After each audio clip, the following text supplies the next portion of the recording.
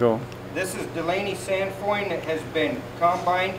Uh, we bring it in here, put it on the floor to make sure it's completely dry before we bin it. And then this winter, we'll run it through our mill to get rid of our trash and our non-crop seed.